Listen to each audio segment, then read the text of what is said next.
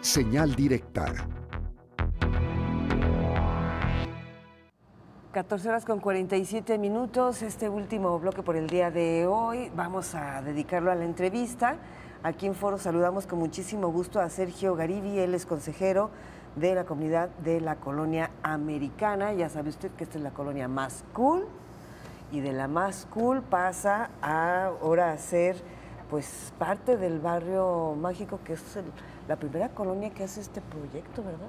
Bienvenido. Exacto. Muchísimas gracias. Les agradecemos mucho eh, la, la invitación, el espacio para tener una oportunidad de compartir cuál es el sentir y lo que, lo que nos preocupa eh, y en, relación a este, a este nombramiento, que la verdad fue súper sorpresivo para nosotros y además que creemos que hay otros muchos temas, eh, tenemos en, nuestra agenda de, vecinos, de los que vivimos en la agenda, que nos preocupan, que no se están atendiendo ni con la urgencia ni con la, eh, con la seriedad que, que lo requieren. ¿no? Entonces eso pues, nos preocupa y, les agradecemos el espacio para poderlo compartir. Bienvenida. Perdón el parangón, ¿serían la condesa tapatía? Eh, pues yo creo que hay algunos paralelismos y creo que sí podemos eh, ver en la experiencia de lo que ha pasado en otras, en otras colonias y en otras ciudades, eh, cuando hay una, un fuerte interés de, devolverlas turísticas.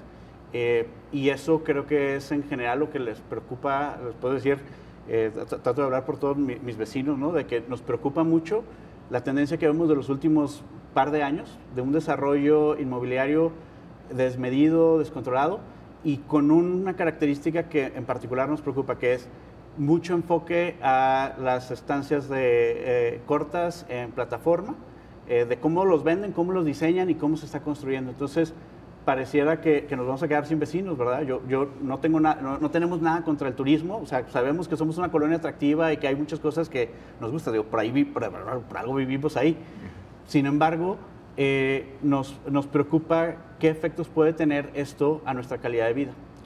Y en particular también quisiera decir algo que nos preocupa es que este nombramiento nos tomó por sorpresa y yo creo que no debería ser así. Yo creo que si, si donde vives lo, de repente va a ser denominado barrio mágico o, el barrio más cool del mundo o cualquiera de estas cosas, pues deberíamos ser parte de, eso, ¿no? Deberíamos entender qué, qué, qué significa eh, cómo vamos a cuidar eh, la calidad de vida de las personas ahí, qué vamos a hacer para resolver los temas que hay de basura, los temas que hay de ruido. Ese ha sido un tema... También tienen una inseguridad tremenda, ¿eh? Tremenda, ¿no?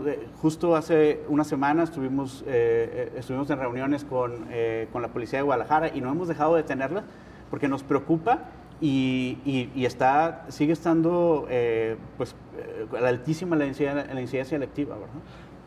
El asunto está en que si se trata de fomentar la presencia de turistas, pues esto tampoco le abona, ¿no? Para que haya más turistas. La inseguridad, la basura, perdón, también voy a poner en el mismo ámbito a los viene-viene, que, ya vuelven imposible la, situación en la colonia. Que, es un tema casi que de extorsión, ¿no? Yo te, puedo platicar que, es otra cosa de las que sufrimos, ¿no? Hay unos vecinos que para extorsionarse afuera de su casa tienen que pagar. No. ¿no? Y si no pagas, te, te, extorsiona. Y ¿En serio? sí, claro. Entonces, eh, en la banqueta, ¿no? En la banqueta pública. Y además ahí eh, tenemos este parquímetro, digital, ¿no? Entonces pagas, doble. Entonces, sí hay una serie de, problemáticas que seguimos teniendo, ¿no? La basura, el ruido, la inseguridad, los viene-bienes. Tenemos un tianguis en, el Parque Revolución, que es un parque patrimonial histórico que no está regulado, que nadie ha tenido voluntad política, ningún político de ningún partido ha tenido voluntad de entrarle a, a ordenar, regularizar y ese parque pues no, no, no, se utiliza necesariamente como parque, ¿no? Ni por los vecinos. Entonces, hay muchos temas y, nos, y queremos o no tenemos la claridad hoy de cómo esto va a abonar de manera positiva o si va a ser al contrario, simplemente va a acelerar el, el que se turistifique más la zona, el que se, se, encarezcan más las rentas, porque es algo que ha estado pasando, digo, en la colonia americana en particular, pero en toda la ciudad y creo que esto puede acelerarlo de, manera eh, muy descontrolada y nos preocupa que vecinos que tienen mucho tiempo viviendo en la colonia de repente ya no puedan pagar la renta y se tengan que ir a vivir a otro lado. No es lo que queremos. Queremos tener vecinos, queremos tener comunidad, queremos vivir tranquilos, queremos vivir felices. E, ese es, ese es al final de cuentas nuestra preocupación. Sergio, mm, desde que empecé a cubrir Guadalajara, es más, empecé reporteando Guadalajara hace muchísimos años, pero yo tengo así identificado, me corriges porque tú eres el que vive ahí, que quien puso esta semilla de la codicia en esta colonia, por el desarrollo lo pongo entre comillas, eh, eh, fue el doctor Alfonso Petersen como alcalde de Guadalajara con las torres Chapultepec. Porque me acuerdo cómo los colonos se juntaban para decirle, por Horizontes. favor, Horizontes Chapultepec, Horizontes Chapultepec, que le decían, es que rompe con la estructura, no va, y a partir de ahí le siguieron otro montón, otro montón, este, a lo que ahora tenemos. Esa fue la semillita y debería de haber castigo para responsables. Yo, yo creo que hay un, hay un tema, digo, ha sido obviamente muy multifactorial, ¿no? La- la- ha habido una transición en la zona donde personas que vivían ahí se fueron a vivir a otros lados y luego eh, algunos eh, más jóvenes llegamos, e- etcétera. Ha pasado, ha habido una transición. Pero lo que creo que es importante es que hay, hay ciertas cosas que son parte de la identidad de la, de la colonia. Por ejemplo, las fincas patrimoniales. Simplemente en este año ha habido una cantidad de fincas patrimoniales que están protegidas porque son parte del polígono B, que han sido destruidas a través de un amparo, a través de que la autoridad se descuida, eh, etcétera. Entonces, eh, esperemos que ahora que somos barrio mágico, eh, esto de- al mínimo sirva para cuidar esas fincas patrimoniales, porque si no, pues, ¿qué, qué hace mágico a la colonia si lo estamos que las destruyendo? verdad? desaparecen, Sergio. Las están desapareciendo. Esa sería la, la magia.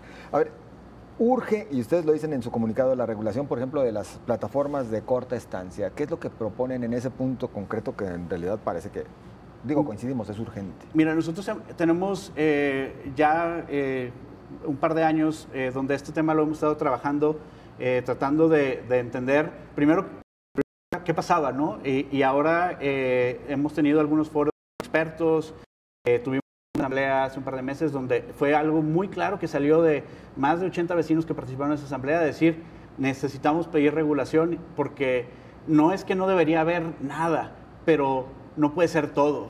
Entonces necesitamos que sea de sentido común. Y, y- y hasta ahora pues ha sido ausente la autoridad a todos niveles, ¿eh? o sea, eh, eh, de manera federal, el, el gobierno, eh, el gobierno estatal, el Congreso, el Cabildo, nadie le ha querido entrar a regular eso y sí lo vemos urgente porque está transformando, Claro. creo que para mal, la- nuestra colonia. Sergio, nos quedan menos de dos minutos. Eh, para ti, ¿qué es un barrio? Porque yo lo decía en estos días, oh, de colonia pasa a ser barrio. Eh, la colonia americana.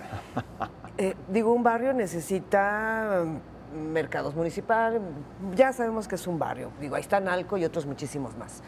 Pero para ti, ¿qué es eso? Y otra que lo decíamos poquito antes de entrar al aire, ¿quién se beneficia con esto? Esa es la. Voy voy a tratar Adelante. de contestar la, la segunda primero. Creo que la primera pregunta es que nosotros hacemos es qué beneficio tenemos los que vivimos en la colonia con este nombramiento. Y el hecho de que se haya hecho a espaldas de la comunidad, que no hayan sido consultados, que nadie nos haya venido a decir, oye, vamos a hacer esto porque esto es lo que queremos lograr, estas son las cosas que vamos a hacer, implementar, las inversiones. No, nada. No. Entonces, pareciera que el interés no es de mejorar la vida de los vecinos. Digo pareciera y espero que, que nos demuestren lo contrario y que se genere algo bueno, pero pareciera eso. Entonces, eso es lo que nos preocupa. Y, y mira, ya que, eh, eh, algo que hemos aprendido es que si somos cool, que si somos mágicos, o sea, ese no es nuestro debate. Nuestro debate es qué hacemos para vivir bien. Y eso es lo que nos importa. Y qué necesitamos exigirle a todas las autoridades para que garanticen nuestro derecho a vivir en paz, con calma, con buenos servicios, con seguridad. Eso es lo que importa para nosotros. Sergio Garibi, muchas gracias por acompañarnos. Por supuesto que seguiremos en en comunicación. Al contrario, muchas gracias por el espacio. Sí,